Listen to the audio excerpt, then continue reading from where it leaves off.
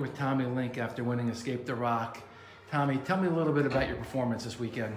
Um, I think I wrestled pretty good coming out and um, winning my round of 16, 7-2. Wrestled that kid earlier in the season. Um, almost got pinned. It was my first match of the year. Um, I thought I controlled him. Uh, went into the quarters, um, feeling good. Beat the kid, Max Martin, 6 nothing. Uh, dominated the match. He couldn't do anything. Rode him out probably for three to four minutes. And going into semis, um, wrestling one of my friends, wrestled him since I was little. The one seed, I was the four. Um, got a tight bar, pinned him. Um, felt pretty good. Um, pinning the one seed, obviously, and then Obviously, right? yeah, going out and um, beating the two seed, uh, Zach. He's a good wrestler. Uh, almost had me at the end of the match, but got that reversal late. Felt good. What kind of guy are you looking at the brackets before the match, and are you seeing, oh man, I got to go through one? And I Yeah, I was.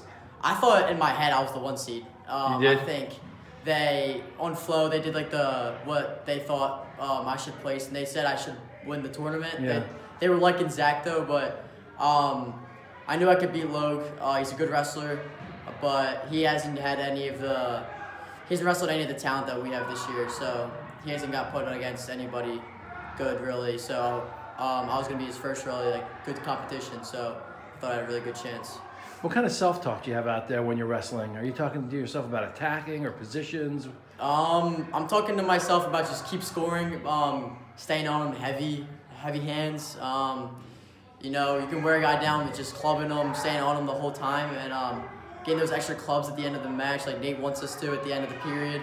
Just staying on them. So I just want to keep attacking, staying in great position, low, um, just never making sure I'm not out of position ever.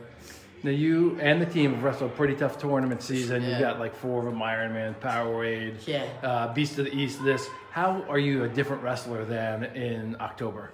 Um, I think just wrestling with all these guys, giving me different feels. Uh, in October, I was my conditioning. I don't think was as good as it is now. I think I can go full six minutes, hard six minutes, feeling good.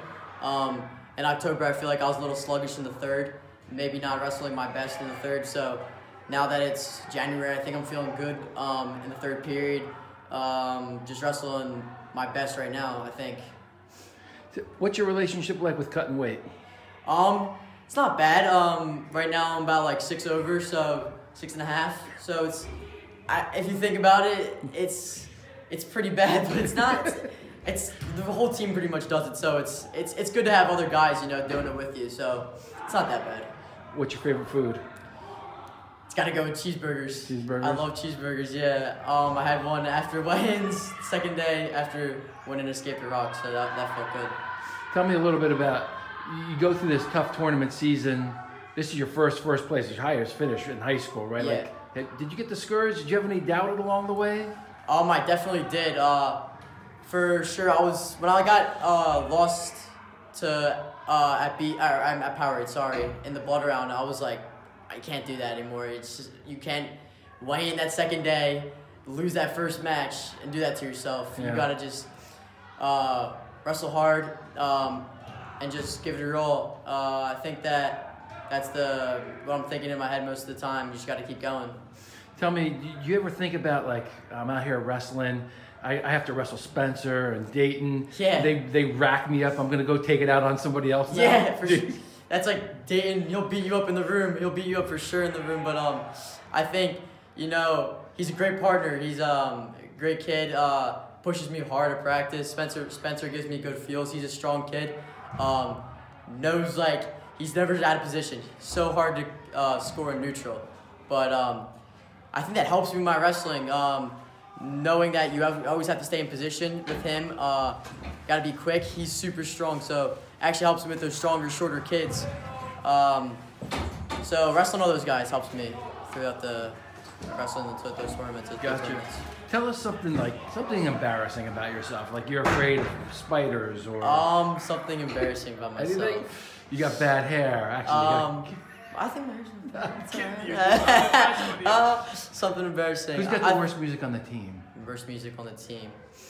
I gotta go with uh, a freshman, Roman Buno. He's uh, he's on the uh, other team. He um, he listens to like sometimes he'll listen to like Beethoven and like all those guys, which is a good it's good music, but it's not our you know we listen to nowadays. But it's just funny because you know a kid listened to Beethoven freshman Yeah. years All right. Do you have something embarrassing about yourself? by myself. Um, um, Worst hair on the team. Worst hair on the team? Can't say Caden Caden. No, you can't. Can't say Caden. Low Uh, hanging fruit. Low hanging fruit. Um, uh, probably Nate or. Medancy, Andrew Medancy, Medancy. getting the haircut. Wait, everybody uh, told him to get a haircut, and then he did. No one, three kids told him to get a haircut, messing with them, and he uh he went out and did it. He went out and got the buzz. Gotcha. But yeah, um, something embarrassing. I take a bath every night to lose some weight. Every night, gotta. I mean, I guess it's not embarrassing, but I think it's kind of funny how. Yeah, a lot of guys don't yeah. take baths. yeah. All right, going forward, how do you stay hungry going towards prep states and nationals? Um, I think I just gotta stay hungry, knowing that I have Brandon Cannon, who's number two in the country, and Mark Anthony McGowan, who's number one in the country at Prep Nationals. Yeah. So, I think that I just gotta wrestle my match. I think I can, I can wrestle with those guys for sure. Um, I've had tough matches with number of like seven kids in the country's Mark, or um, Mac Church. So I think I'm up there with those kids, and um, I think I just gotta keep pushing, keep wrestling hard in the room, and um, maintain my weight. Hey, thanks for the time. Yep, thank you.